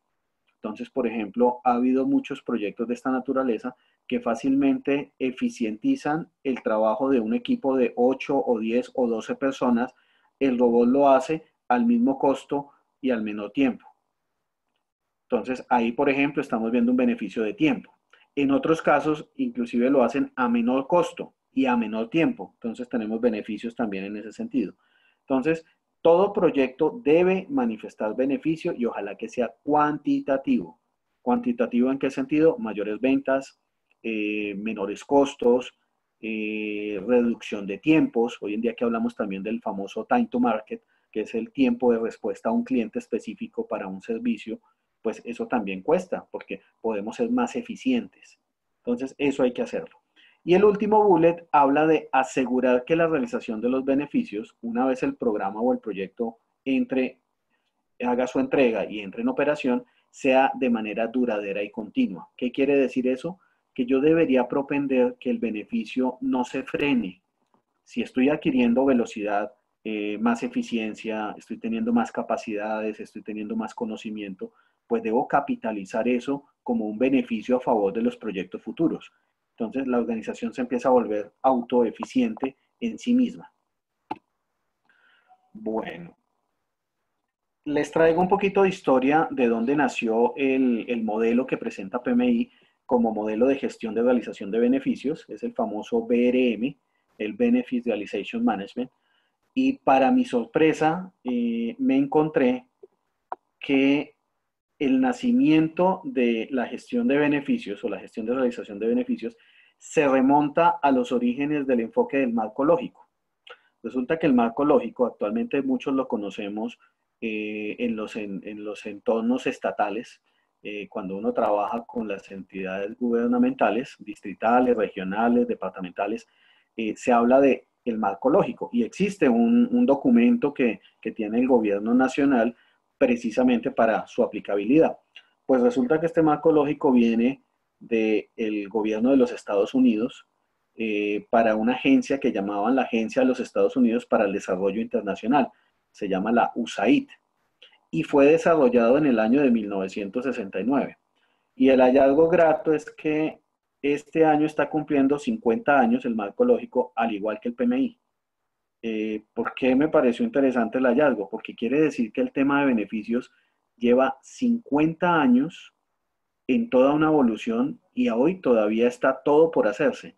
Y obviamente, pues PMI ha desarrollado todas sus, sus estándares, sus guías, sus marcos, también con una duración de más o menos esos mismos 50 años, por lo cual el tema está totalmente sincronizado y alineado. Desafortunadamente no le habíamos puesto el cuidado necesario y la atención que esto se merece, pero creo que ya esto es una realidad. Si no hay beneficio, no hay cómo justificar una transformación. Y también encontré por ahí que en el sector privado, ya no en el estatal, eh, este tema de la gestión de beneficios también trae su, data en las industrias de tecnología, sobre todo en los temas de información y manejo de desarrollo de software hace más de 30 años. O sea que lo que estamos viendo en este momento son teorías y son marcos y son definiciones eh, pues que tienen más de 30 años de existencia, por lo cual hay muchos elementos que ya podemos tomar y que debería generar conciencia en nuestras organizaciones hoy en día. Bueno, les quiero contar también y con esto voy a cerrar, voy a tratar de, abordarlo lo más, lo más rápido posible. Eh, el marco para la gestión de beneficios eh, está marcado en cinco, en cinco momentos. No dista de lo que ya les expliqué, ¿se acuerdan que les hablé de evaluación ex ante y ex post? Entonces miren que el, el paso número 5 se llama realizar la evaluación ex post, o sea que es el cierre del proceso, y en la identificación de beneficios estamos hablando del ex ante. Ya les voy a contar algo más, más a título de ejemplo. Entonces, tenemos que la gestión de beneficios la podemos enmarcar en cinco grandes pasos. Llámenlo pasos, fases, etapas, como ustedes quieran. Paso número uno, vamos a identificar los beneficios. Como punto de partida debemos conocer que el ciclo de la gestión de beneficios requiere el trabajo conjunto con el negocio y el proyecto o portafolio o programas para encontrar los beneficios, los indicadores y establecer una línea de base. En otras palabras, ¿qué es lo que queremos mostrar? Algo de esta naturaleza. Este es un ejemplo de cómo uno puede, a través de unos habilitadores tecnológicos en el lado izquierdo, a través de una correlación con habilitadores de cambio, establecer unos cambios de negocio. ¿Se acuerdan lo que les hablaba de las transformaciones? Entonces, aquí, aquí se empieza a manifestar esto de una manera más tangible como un habilitador tecnológico y unas habilitadores de cambio, que en otras palabras son las capacidades que hemos hablado durante la charla, cómo medimos esas capacidades, me permite establecer un cambio. Los cambios yo los he llamado transformaciones. Entonces aquí lo que vamos a buscar es unas transformaciones. Esas transformaciones se tienen que correlacionar con los beneficios del negocio y al final me debe decantar en los objetivos de inversión para determinar qué es lo que yo voy a esperar. Entonces, miren, por ejemplo, el, primero, el primero en la parte superior derecha está definido como aumentar la eficacia del gasto de promoción y publicidad. Ese ya es un beneficio tangible, es lo que él está esperando. Hay otro ejemplo que dice aumentar el valor y el volumen de ventas de nuevos clientes. Obviamente, en este punto todavía está muy general, porque yo debería empezar a preguntar eh, en cuánto es el aumento, en qué periodo de tiempo, el volumen de ventas de qué tipo de, productos, eh, cuánto es el nivel de ventas que yo quiero aumentar en un porcentaje del tanto eh, enmarcado o referido a qué ventas actuales. Eh, nuevos clientes, cuántos nuevos clientes, clientes identificados para el país, para un sector, para una industria. O sea, entran a ver muchas preguntas que yo puedo establecer dentro de ese mismo contexto. Esto es lo que llamaríamos el primer paso, que es identificarlos. Si los he identificado, ahora puedo planear la realización de esos beneficios. Entonces, lo más concluyente de este segundo paso es la creación del perfil. El perfil es una ficha que me permite establecer y vincular cuáles son las actividades que se requieren para ese, obtener el beneficio, cuál es el origen de la información, quién la procesa, quién la entrega, con qué frecuencia, qué dato es el que yo voy a, pedir y cómo lo voy a analizar. Y aquí les tengo un ejemplo de lo que podría ser una ficha de ese, de ese estilo. Tenemos un número de beneficio, el título, la descripción del beneficio, la descripción de la medida, o sea, con qué lo vamos a medir, quién es el dueño de la información, quiénes, quiénes son los interesados que estén girando en torno a ese beneficio, con qué frecuencia voy a pedir el dato, con qué método. Eh, cuando hablamos aquí a veces de métodos, me van a entregar un archivo o me van a entregar un Excel o yo tengo que ir y preguntar e, e ir a investigar en un sistema. Y aquí empiezan, pues obviamente, medidas objetivas, medidas de línea base, indicadores, asignación de temas de valor a nivel de dinero y puedo estar midiendo desempeños del objetivo e inclusive fechas de hitos. Entonces, cada beneficio debería tener su, su perfil. En otras eh, literaturas se habla de la hoja de vida del beneficio. Entonces, ¿cuál es la hoja de vida de su beneficio? Su beneficio puede estar enmarcado en varios indicadores, en uno o en varios. Y cada indicador debería tener, obviamente, su perfil o su ficha de beneficio.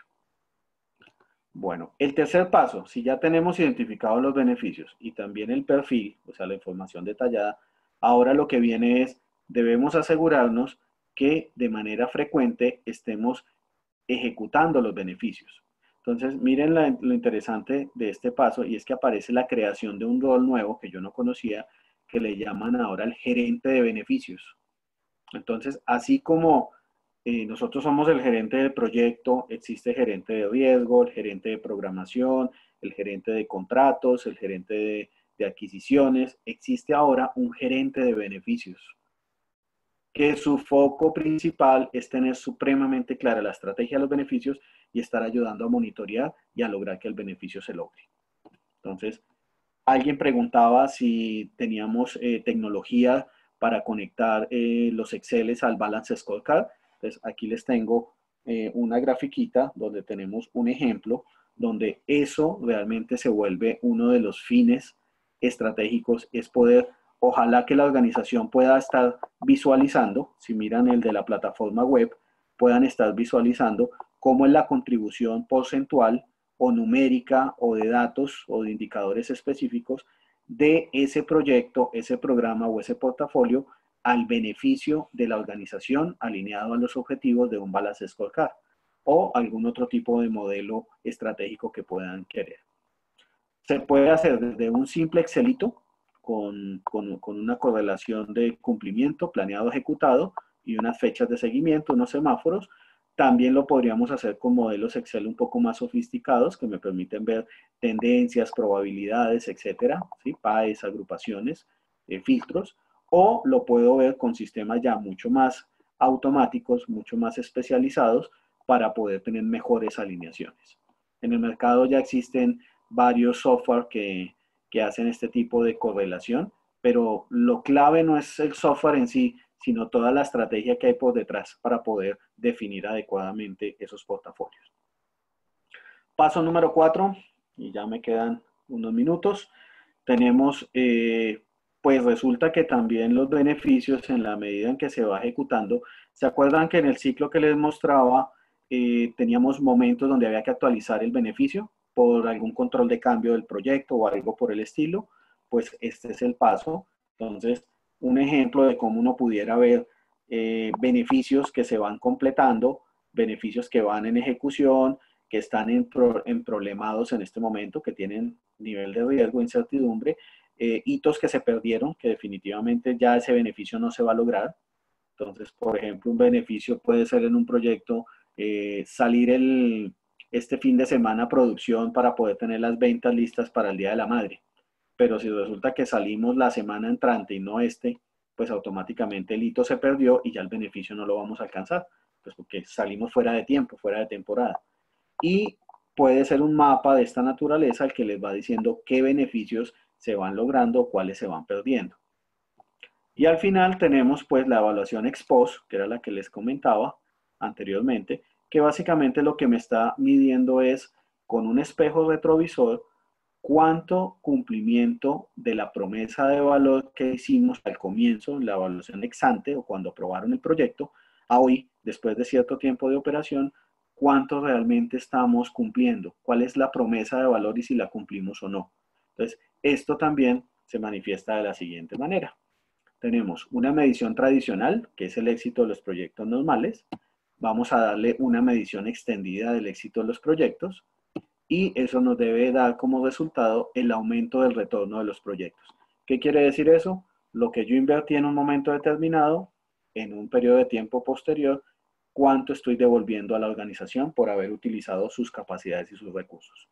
La evaluación tradicional se focaliza en alcance, tiempo, costo y calidad, que es la definición tradicional de que un proyecto es exitoso. Cuando cumple los cuatro objetivos, podemos decir que el proyecto es exitoso. Y en la medición extendida vamos a tener cuál fue la, cantidad de beneficios que se materializaron, eh, qué medidas de desempeño alcanzamos, logramos tener impactos organizacionales de alguna manera, eficiencias, reducciones, mejoras en tiempo. La sumatoria de estos dos grupos lo que llamamos la ganancia estratégica y transformación y las mejoras en el desempeño. Entonces, si se dan cuenta, volvemos al, al origen. Yo solicité capacidades y recursos para que me aprobaran una transformación. Aquí tengo que demostrar que una vez utilicé esos recursos, puedo lograr mejoras de desempeño y también obtener beneficios estratégicos o de transformación adicionales para mi organización. Y aquí concluyo en algo, lo que empieza bien, termina bien. ¿Qué quiere decir esto? Que si logramos articular adecuadamente una buena identificación y selección de programas, proyectos a través de las estrategias de portafolios, esperaríamos que en el camino tengamos unos buenos beneficios. ¿Por qué? Porque hicimos las cosas bien desde el comienzo.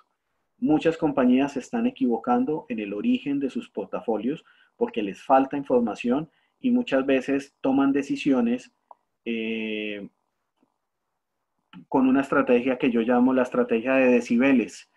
La estrategia de decibeles es en esos comités ejecutivos el que grite más duro. Entonces, muchas veces las decisiones van es por posiciones políticas, favoritismos individuales o simplemente por el desconocimiento de si tenemos las capacidades para poder lograr los proyectos. Quiero cerrar con tres frases o tres eh, datos de, un par de personajes que, me encontré en las mismas literaturas que estuve leyendo para prepararles esta información y una propia que quiero dejar aquí eh, sentada. Entonces encontré una de, de, un vicepresidente de una organización que se llama Sincor, que dice que la medición de la eficacia de un proyecto es la entrega de beneficios esperados que nos permite mejorar examinando los proyectos en forma retrospectiva. Me llamó mucho la atención porque hace la invitación a que la organización hoy en día tiene un pasado y la organización con ese pasado puede evaluar sus capacidades, sus aciertos y sus desaciertos pensando en el futuro. Entonces, si somos capaces de entender el pasado, podemos planear nuestro futuro. El otro autor que encontré es eh, un, director de gestión del portafolio de, de, una organización que se llama Ansel Healthcare y me llamó la atención por la redacción final que establece y dice que es necesario perfeccionar los beneficios mientras se va avanzando, especialmente en la etapa de planificación y algunas veces en la etapa de inicio pero es necesario que se asegure este perfeccionamiento antes de empezar el proyecto, ya que no hay manera de empezar sin hacer esto de una manera anticipada.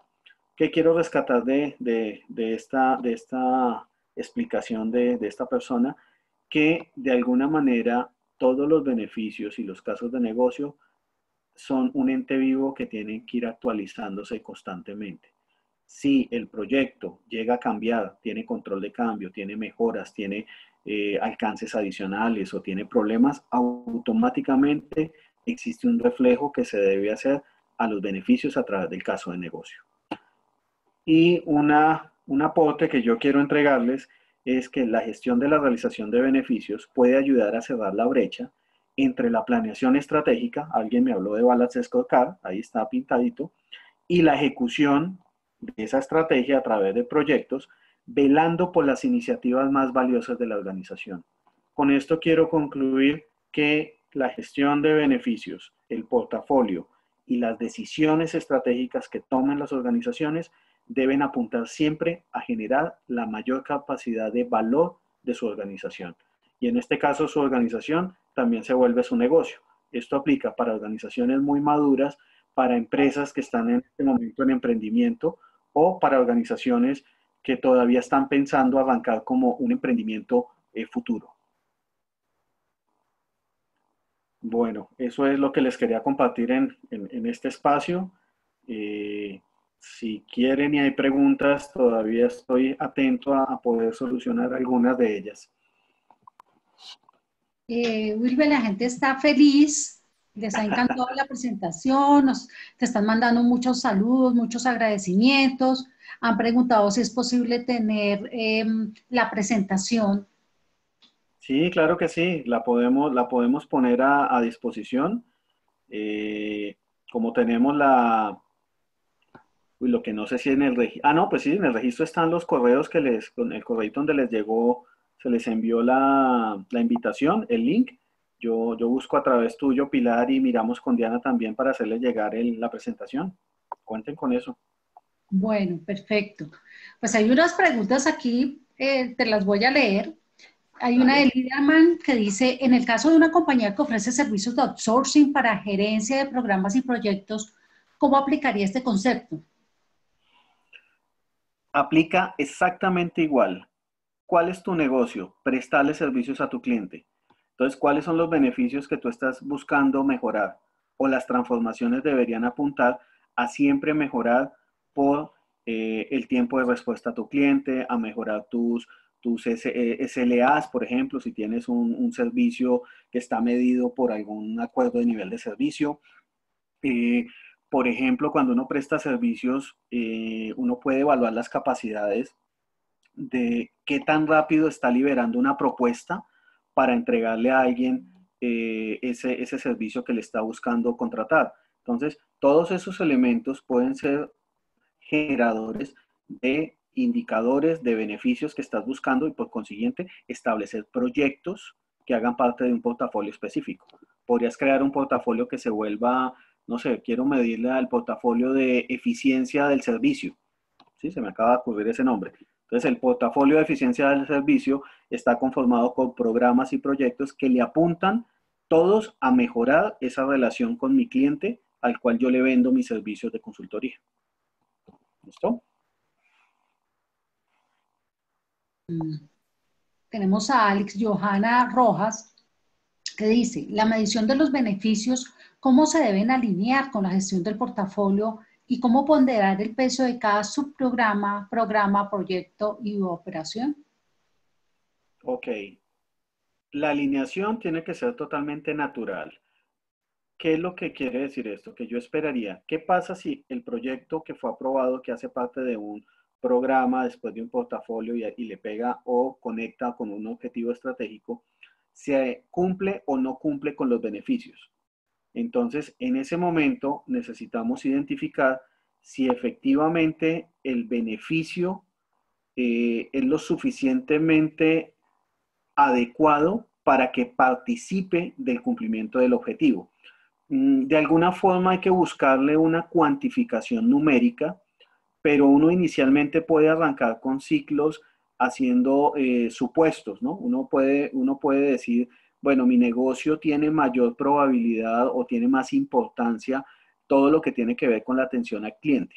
Y yo podría jugar con una ponderación de decir, todo lo que le afecte al cliente tiene un peso del 70%. Todo lo que me ayude a mejorar y a optimizar tiempos y costos eh, tenga un 30%. Y a partir de eso ir desarrollando un poco todo lo que pueda llegar a ser la definición de esas ponderaciones pero entras en un ciclo de, prueba y error, ¿no?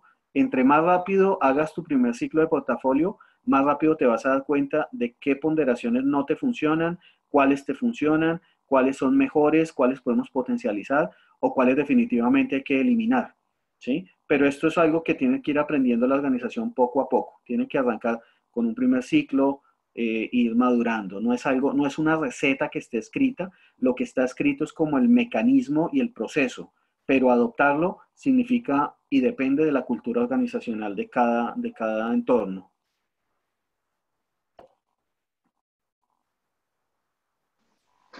Roberto Sisa dice, Wilber, tal como dices, los gerentes de proyecto cada vez somos más estratégicos. ¿Cómo podemos hacer para sensibilizar a la alta dirección sobre la importancia para contar con nosotros en este nuevo reto que aprovecha nuestros skills?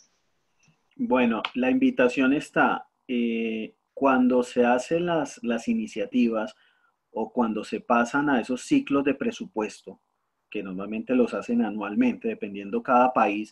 Por ejemplo, aquí en Colombia se hace en octubre, es como la fecha más, más límite para entregar presupuestos y eso entra noviembre, diciembre a concurso para presupuesto del siguiente año.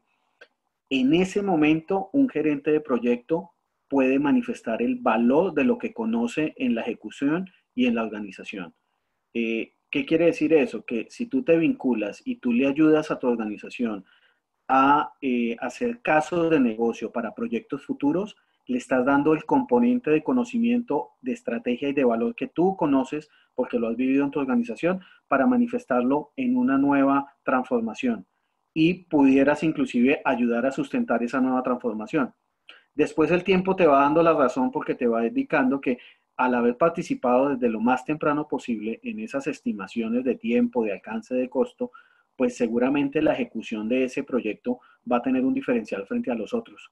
Porque normalmente hoy en día los proyectos son aprobados y seleccionados sin un nivel de maduración adecuado en caso de negocio. Entonces, te recomendaría que la forma y la clave es involúcrate más en los casos de negocio que van a ir presentados a esos comités de, decisión para aprobar los proyectos futuros. Ahí puedes hacer un buen, un buen, una buena acción y puedes eh, generar un buen reconocimiento. Dice Fernando, es decir, que los beneficios deben ser definidos al inicio o se vuelven objetivos del proyecto. Bueno, cuidado con, la palabra objetivos del proyecto, ¿no? Eh, los objetivos del proyecto siguen siendo alcance, tiempo, costo y calidad, pero los beneficios van en paralelo al cumplimiento de esos objetivos. ¿Qué quiere decir eso? Que si los objetivos llegan a cambiar, automáticamente el caso de negocio cambia, por consiguiente los beneficios cambian. Entonces, más que eh, categorizarlos como un objetivo más, lo que, lo que quiere decir es que dependiendo del comportamiento de los cuatro objetivos principales o tradicionales de un proyecto, automáticamente se hace un reflejo donde se tiene que actualizar el beneficio. Lidia dice, los beneficios se miden desde el caso de negocio cuando se calcula el, ROI. Sí, señora, se tienen que definir, se tienen que eh, establecer unos indicadores y se debe establecer el plan de medición. ¿Te acuerdas que en, la fase 2 de planeación les mostraba el perfil? Imagínense una fichita de ese perfil por cada uno de los beneficios que ustedes están planteando desde el inicio del proyecto. O sea, tú desde este comienzo me estás diciendo, denme estos recursos, denme estas personas, este tiempo, estas capacidades, y yo le voy a entregar un proyecto en tales condiciones, en tal momento. Pero también vamos a generar los beneficios que vamos a medir de tal forma, que los vamos a hacer con cierta periodicidad, que vamos a establecer estas fuentes de información, eh, los responsables o los, o los dueños de los datos deben ser estas personas. O sea, todo eso queda definido en la planeación. Si uno se pone a verlo es como si tuviera una planeación en paralelo. Hagan de cuenta como si tuvieran una, un área de conocimiento número 11 que se llame gestión de beneficios. Sin, sin volverlo tan, tan pen book, donde uno tiene las 10 áreas de conocimiento, pero en paralelo necesitamos llevar la gestión de beneficios y en la planeación del proyecto también deberíamos hacer la planeación del beneficio. Pero no son, no son eh, excluyentes. Las, dos planeaciones son, son complementarias. Por lo que le respondía también a Fernando en la pregunta anterior. Si tú cambias el beneficio, tú tendrías que cambiar también eh, la definición de alcance, tiempo, costo y calidad. Y si por algún motivo te cambia alcance, tiempo, costo y calidad, tu beneficio cambia. Entonces, están totalmente ligados. Wilber, la gente quedó tan feliz, tan feliz realmente con la presentación, que está, hay gente fuera del país, hay desde Chicago, desde Perú, y hay personas incluso que están, están preguntando si tú tienes algún sitio web donde compartas información de proyectos para seguirte. No lo tengo, pero, pero si es una petición me pongo en la tarea de crearlo y armarlo para ustedes.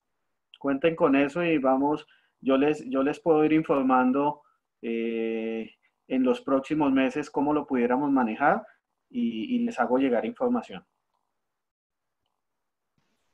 Sí, la gente está diciendo que excelente, que gracias, que sí les gustaría tener más información. Bueno, agradecerles a todos. Eh, creo, que, mis datos, eh, espérate a ver, aquí yo tengo mi correo personal, se los voy a escribir. Este es, el, este es mi correo personal. Espérate a ver si... Mientras lo escribes, te leo aquí una muy linda que dice, excelente presentación, un gran nivel de investigación realizada. Estamos muy bien representados con Wilber como eh, eh, presidente de nuestro capítulo Bogotá. Muchas gracias. muy queridos, muy amable. Y qué, bueno, todo lo que les pueda ayudar con todo gusto. Ven, yo quería, pero es que no sé por qué no me dejo el chat. No sé, Pilar, si tú lo puedes escribir porque no, no sé qué le pasa. ¿El de PMI? Eh, puede ser el de puede ser el de PMI es uno y si quiere alguien escribirme por el personal también también lo podemos hacer. Eh, voy a aprovechar para decirles que mm, el código del PDU lo vamos a mandar por correo electrónico. Nosotros tenemos sus correos. Eh, los obtuvimos cuando ustedes se inscribieron a la Semana del Conocimiento. Entonces, tan pronto tengamos la respuesta de PMI Global, se los vamos a hacer llegar. Voy a hacerlo aquí. Hago mail. Y también les voy, y les voy a dejar el de el del capítulo también, si me quieren contactar también por ese. Ay, sí, perfecto, mejor ahí.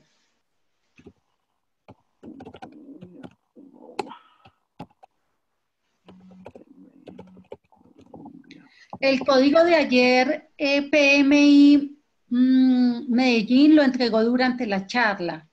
Eh, ese no lo tengo yo aquí, pero pueden contactar a PMI Antioquia y ellos les pueden dar el código. Listo, ahí los puse.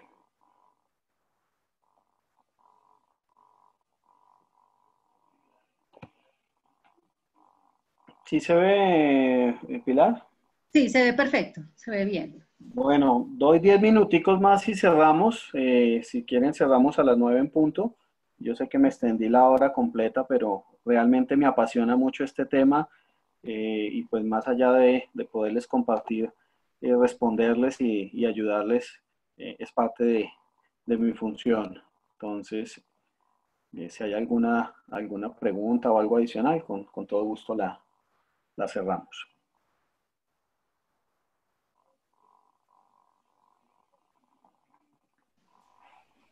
¿Quieres saber si esa charla la vamos a subir a la web? Tengo entendido que sí lo vamos a subirlo, las grabaciones, Pilar, las cuatro grabaciones de, la semana completa se van a subir a, a, la web. Más que a la web, creo que es al canal, a un canal de YouTube que estamos desarrollando con el capítulo. Ok.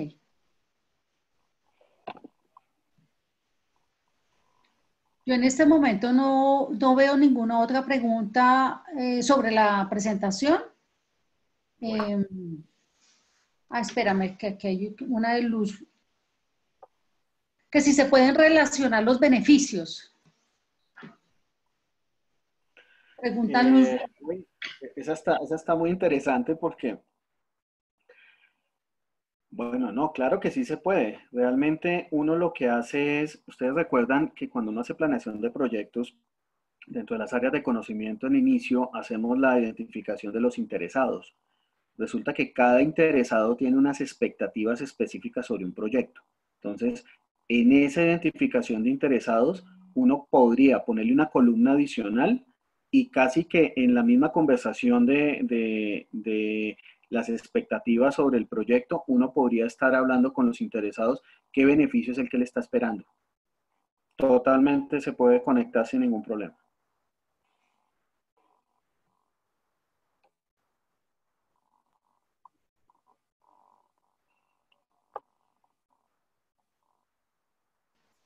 Hay otra pregunta. Dice Sergio, ¿se puede cambiar los beneficios del desarrollo del proyecto porque las condiciones del mismo cambiaron? No la entiendo muy bien. Eso es lo que tú tienes que hacer. Cuando, cuando el, el desarrollo del proyecto y las condiciones cambiaron, cuando una condición cambia, lo que quiere decir que un supuesto cambió. Y si un supuesto dejó de ser verdad, automáticamente lo que tú tenías concebido para entregar como beneficio tuvo que cambiar. Entonces, ¿qué quiere decir eso? Que tan pronto una condición del proyecto te cambia y se te manifieste o se te materialice un riesgo o se te vuelva un problema de manera directa, automáticamente hay que informarle a los interesados que el proyecto ya no puede cumplir las mismas condiciones en las mismas características de objetivo y automáticamente el beneficio puede cambiar. ¿Qué te van a tratar de inducir? A que ojalá puedas recuperar esos cambios o esos impactos para evitar que el beneficio se minimice. Pero a veces es muy difícil, sobre todo cuando tenemos beneficios que dependen de momento de tiempo, eh, ahí ya no tenemos mucho que hacer. Lo que les mencionaba en el ejemplo de, salir para las festividades de, de, la madre. Si salí posterior a cierta fecha, pues ya no puedo vender para el Día de la Madre y no me toca vender para el Día del Padre pero seguramente el producto cambia, ¿no? Luz Rivera dice, ¿puedo asociar los beneficios con los requisitos de los interesados? Eso creo que ya lo respondiste. Sí, señora, la respuesta es sí, sí se puede y más allá de la expectativa lo puedes llevar también a requerimientos o requisitos, sin problema.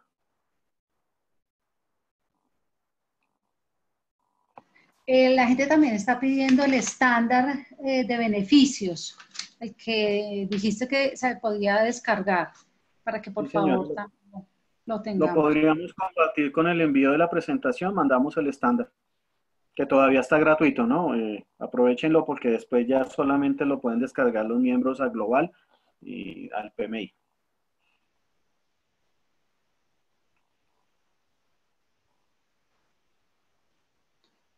Bueno, muchos agradecimientos. Eh, muchas gracias, muy buen nivel. Me preguntan si el canal de YouTube ya está funcionando. Eh, lo tengo que averiguar.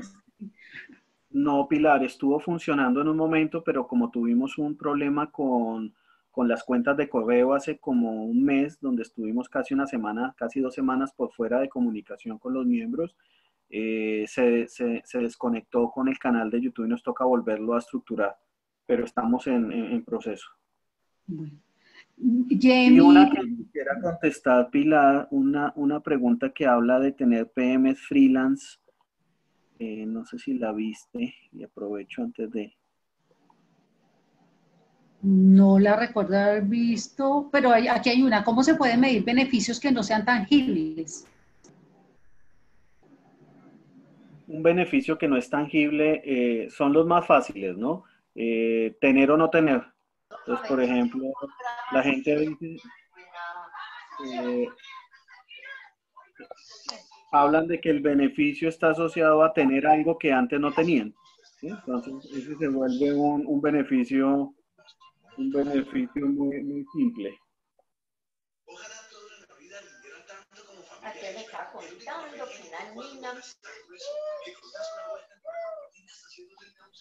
Alguien activó el sonido, no lo logro encontrar. ¿A quién se le abrió la, se le abrió el canal?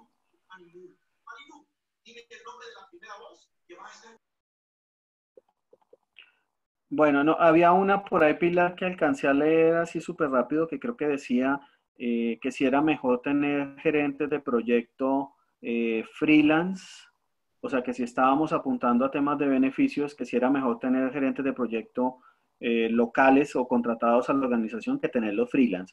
Eh, realmente no importaría la figura de, la contratación.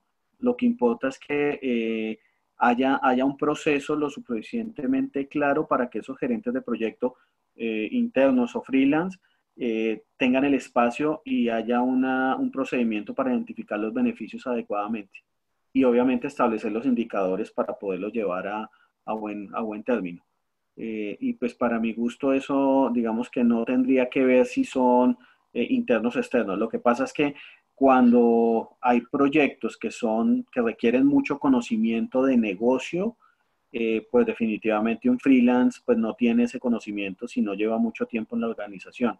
Entonces eso jugaría un poquito en contravía de, la, de la mejor definición de estimados estimaciones, pero, pero pensaría que no es, no es algo tan trascendental. Lo importante es que el perfil sea un perfil estratégico y sobre todo la forma de pensar de esa persona. Un PM tiene que saber pensar no solamente en la mecánica de alcance, tiempo, costo y calidad, sino ya tenemos que trascender a lo táctico y a lo estratégico. Bueno, Wilber, yo creo que estamos ya en el límite final, ya las personas también tienes tus datos, de pronto si tienen alguna pregunta que se nos pasó, para que te la hagan llegar, e, igual estamos pues para servirles. Te dejo para, a todos les deseo una feliz noche y te dejo para que tú cierres la sesión. Bueno, pues agradecerles nuevamente. Eh, me cierro esta sesión muy contento por la permanencia, la duración, eh, todas sus preguntas, todos sus agradecimientos. Y bueno, lo que podamos servirle desde, desde capítulo PMI, pues estamos disponibles. Eh, ahí está mi, mi, información de contacto. Eh, todo lo canalizamos también con mi junta directiva, que es un gran equipo que esta iniciativa no se hubiera podido lograr sin, sin esa fuerza que le ha dado la junta directiva también a este tipo de iniciativas. Eh, es la primera vez que eh, estoy aquí presente frente al, al, grupo y pues la idea es que les siga ayudando con más temas, les siga trayendo más información, más conocimiento y pues contarles que esta semana de conocimiento nace en una reunión que tuvimos en Los Ángeles el año pasado, en la LIN que se hizo en Estados Unidos, donde tuvimos la oportunidad de reunirnos los presidentes de los cuatro capítulos y ahí tuvimos una conversación también con miembros de junta y los presidentes de los capítulos y nació la idea de hacer algo conjunto. Y pues este es el primer evento que vamos a hacer conjunto y pues qué bueno que el nivel les haya gustado y bueno, traté de investigar lo más que pude para traerles mucha información. De todas formas, todo esto está disponible. Cualquier temática que ustedes quieran hacia futuro, por favor háganosla saber eh, y con gusto la podemos buscar la forma de viabilizar y programarla. Y los invito a que también se hagan parte del capítulo, los que no, los que no lo son en este momento, se acerquen eh, y quieran ser también voluntarios. Tenemos muchas iniciativas y cualquier idea que ustedes tengan, iniciativa que puedan traernos, el capítulo está abierto para recibirlos y ayudarles a que se lleve a una y se haga realidad esa iniciativa. Nuevamente muchas gracias y que pasen una buena noche.